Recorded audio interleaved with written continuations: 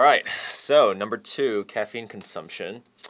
Part A, the researcher wishes to estimate the difference in population mean uh, caffeine consumption using a 95% confidence interval. She would like to use a pool procedure. She notes that two sample standard deviations are somewhat similar. Would like to be further assured by examining Levene's test results. So Levene's test results are supplied for you right here by SPSS. Uh, part one of part A clearly state the null hypothesis for Levene's test, and this is just something that you need to memorize. Null hypothesis simply that uh, sigma squared 1 is equal to sigma squared 2, or essentially that both population variances uh, are equal. So the first population variance is denoted by sigma squared 1, second one is denoted by sigma, sigma squared 2, and Levene's test, the null hypothesis for Levene's test, uh, assumes that both of these are equal. So that's for part one. Part two, explain how Levene's test result supports her decision to pool, and you need to include the numerical values. So SPSS already done, has already done Levene's test for you, and they provide the p-value for the test in this box, which is denoted by sig.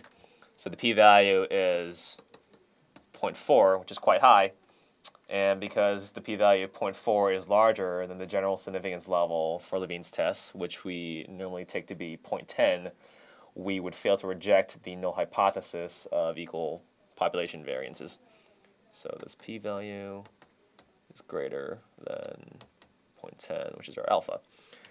Um, so that's for part one.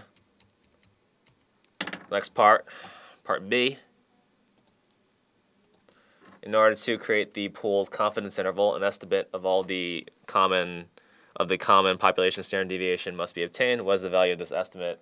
And show all works. So it's very easy if you just refer to your uh, yellow formula card that you'll be provided.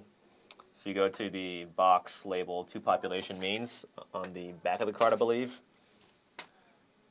go to the section labeled pooled, and then you will look at the box entitled standard error. So you're going to see the formula for SP. So SP is the symbol for the um, estimate of the common population standard deviation. So you just plug all the values provided in the problem into this formula. So you're going to have SP is equal to SP is equal to uh, N1 minus 1 times s squared, uh, s1 squared plus n2 minus 1 times s2 squared all over n1 plus n2 minus, uh, 2, and then you squared all that. So we'll just plug in all the values right here. 72 minus 1 times 60.97 squared plus 64 minus 1 times 48.89 squared all over 72 plus 64 minus 2. And then you just have to square root all this. So that's a general setup for um, the value of SP. And then you can plug all these values into your calculator, and eventually you'll end up with 55.6184. Remember to include four decimal places, and that'll be your final answer. Um, so that's for part B.